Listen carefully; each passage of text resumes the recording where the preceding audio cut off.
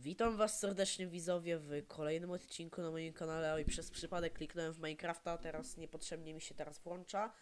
W dzisiejszym odcinku pokażę wam jak zmienić dźwięki w Windowsie. Pewnie kiedyś myśleliście sobie, znaczy może w sumie nie, ja też w sumie nawet nie myślałem o tym, ale ja ostatnio sobie tak przeglądam e, system Windows i tak sobie myślę, a co jakby tak w ogóle zmienić dźwięki w Windowsie i co mam na myśli? Pewnie nieraz w waszym życiu, jak korzystaliście z komputera, stworzyliście sobie jakiś plik e, dla, i nie wiem, co, cokolwiek źle zrobiliście na Windowsie i wyskoczył wam komunikat z takim dziwnym dźwiękiem Windowsa. Dzisiaj pokażę wam, jak ustawić sobie dźwięki. Możecie nawet zrobić sobie pranka na swoim koledze, bo pokażę wam dzisiaj jak e, ustawić dźwięk po włączeniu programu, czyli jeżeli odpalicie sobie na przykład tutaj przeglądarkę Microsoft Edge, to się odpali taki dźwięk dziwny, nie?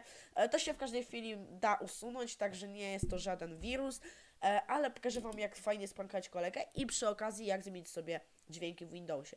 Ok, ja korzystam z takiego programu, zapomniałem jak on się nazywa, jest to Air Trumpet, E, pobierzcie sobie go. Jeżeli nie, pobierz, e, nie pobraliście, to nic się nie stało. Więc tak, na początku wchodzimy sobie oczywiście w wyszukiwarkę, wpisujemy na... E, a nie, przepraszam, panel sterowania. E, wchodzicie sobie w panel sterowania i następnie, jeżeli już weszliście w ten panel sterowania, jak mi się, kurde, ten komputer zamula, wchodzicie sobie w sprzęt i dźwięk, wchodzicie sobie w dźwięk, dźwięki i zostawiacie sobie to okienko. Ja aktualnie korzystam z tego programu, więc mogę sobie wejść tutaj, ustawienia systemowe dźwięki. Mam tutaj ułatwioną pracę. Gdy już macie to okno, tak ono powinno wyglądać. Możecie oczywiście wejść sobie też w nagrywanie, ale ja sobie wejdę w dźwięki.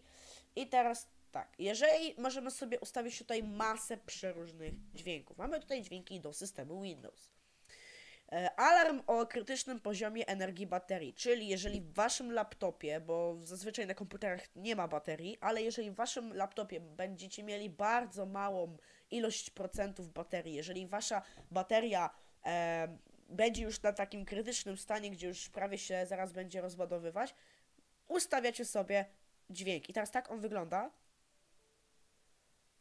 No, czekajcie, bo wy go nie słyszycie, ja sobie tutaj włączę słuchawki i pokażę wam, jak ten dźwięk brzmi. Z góry sorry, że tak głośno sobie trochę to ściszę. E, możemy sobie ustawić jaki tylko chcemy. Mamy tutaj wiele dźwięków do wyboru. Możemy na przykład to. No trochę dziwny ten dźwięk, ale, ale jest tutaj wiele dźwięków. I teraz tak. Najlepsza rzecz, jaka może być, to klikamy sobie przeglądaj i możemy tutaj dać swój własny dźwięk z komputera. Jeżeli macie go zapisanego na pulpicie, gdziekolwiek indziej, możecie sobie go tutaj wrzucić. I tak, ja sobie ustawię taki dźwięk, niech będzie taki. E, alarm o niskim poziomie baterii, no to... O, taki dźwięk niech będzie. E, brzęczyk wiadomości. Niech będzie. Błąd programu. E, no to ja sobie weźmę taki na przykład.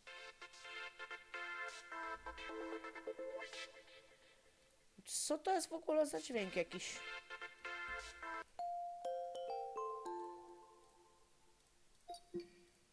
O, niech będzie taki.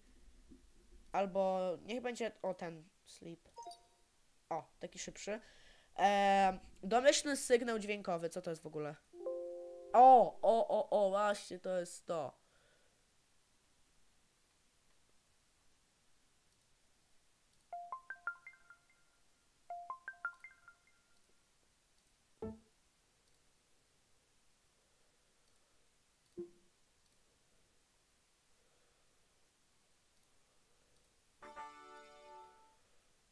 E, no jest tego tak naprawdę dużo.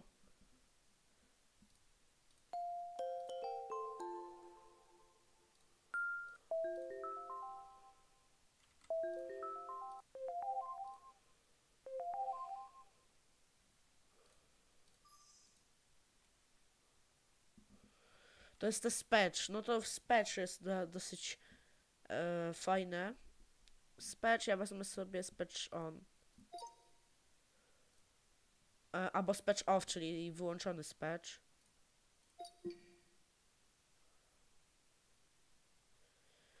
E, drukowanie zakończone.